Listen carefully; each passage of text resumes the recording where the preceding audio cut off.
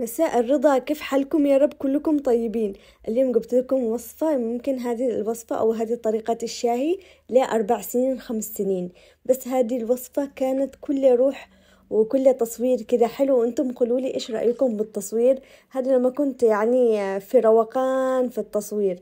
لكن الصراحة الآن أني استويت يعني متعودة عليكم وأخذ واعطي معاكم ويعني سوينا أهل زي ما نقول. بس اليوم بجيب لكم طريقة الشاهي الشاهي العدني مع كده جو الفيديو الحلو واغراضي الحلوة. هذه تقريبا قلت لكم الفيديو له مصور خمس سنين بس حبيت إني أعيده لأنه فيديوهات غالية على قلبي. يكفي إنه أمي معلقة فيه وإنه يعني وعاملة لي لايك وكانت أمي دايما تتابعني. يعني قبل ما ينزل الفيديو تكون منتظراني عشان تشوف الفيديو.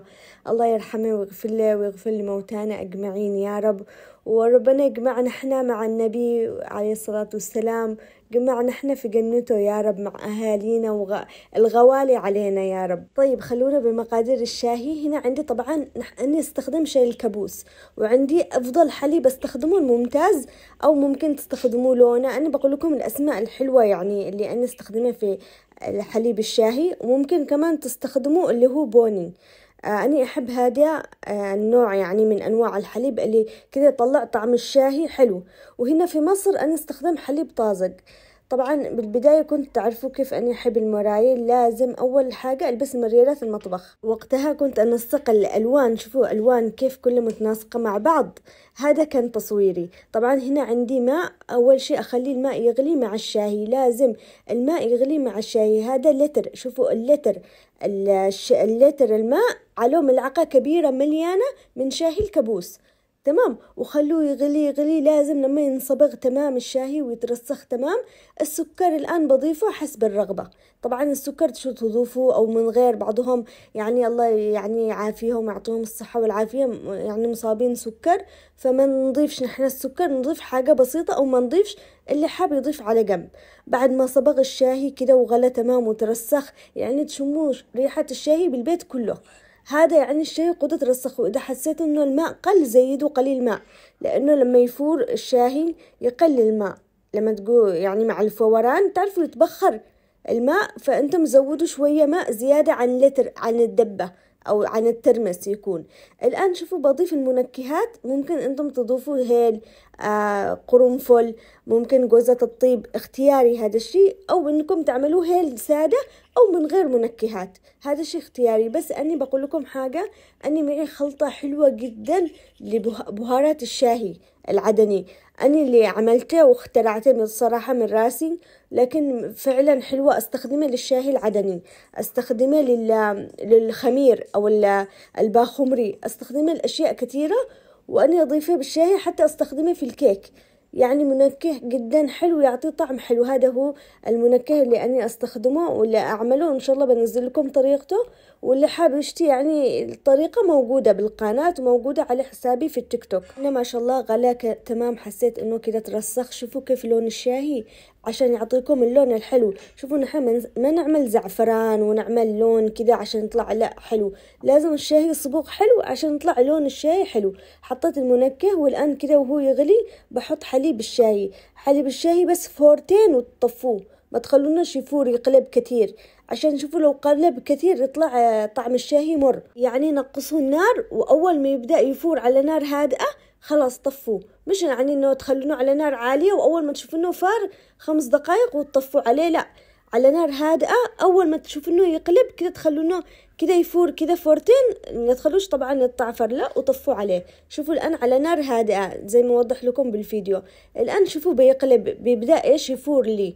طبعا أني مسرعة أكيد يعني مقاصة الفيديو بس شوفوا كيف خلاص بدأ يعني بيفور لي على نار هادئة بطفيه.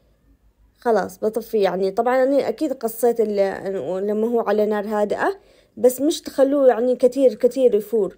أول ما يطلع على نار هادئة خلاص بعد كده تصفوه تشربوا أحلى شاي مركز الشاي شوفوا العدني ما فيهوش أي فلسفة.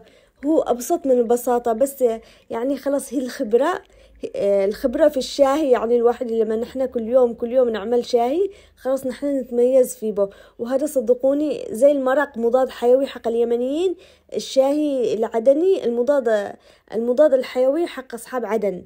يعني بوقت الحما نشربه بوقت طفاي الكهرباء نشربه ليش نشربه وأول ما نصحى نشربه ليش نشربه كده؟ لأنه هذا يلصي الكهرباء حق الجسم. يعني شوفوا أنتم طافين تكونوا خمول.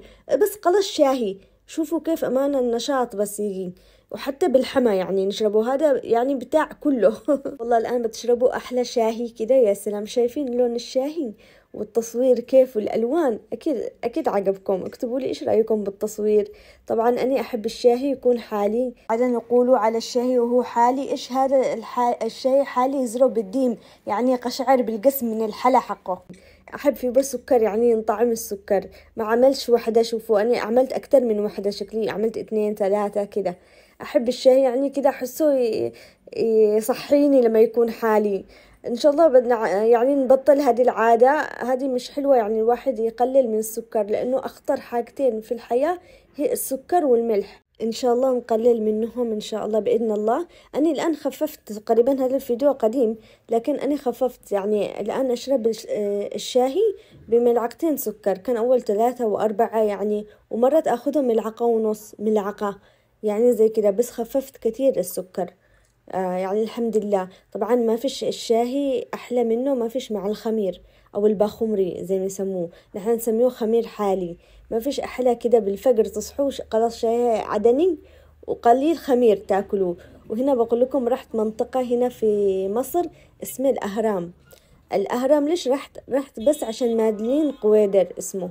مادرين ماد من مندرين قويدر أظن كده اسمه آه. يبيع حلويات بقلاوة الصراحة أحلى أحلى حاجة في مصر أني أكل بقلاوة وبسبوسة يعني وكده. هو أحب أروح هناك. حتى الآيس كريم حلو. تبعه جربوا هذا هو. فأني أروح اللي في الأهرام. آه، طبعا تعالوا أقول لكم على أسماء اللي أسماء المناطق في مصر اللي في القطار اللي نعديها. وأنتم قولوا لي إذا نسيت. طبعا في منطقة من الأهرام بقول لكم الأهرام هليوبوليس.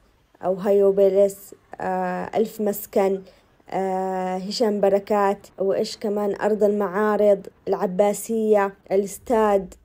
وإيش كمان؟ العتبة باب الشعرية الجيش. مش, مش عارفة أكثر من من من حاجة العتبة وقلنا باب الشعرية والجيش. اكتبوا لي كمان أنتم إيش أنا أحاول إني أتذكر يعني كمان إيش آه، كلية البنات. بس يعني هذا اللي أنا تذكرته. وأنتم اكتبوا لي إيش كمان حاجات ما ذكرتيش.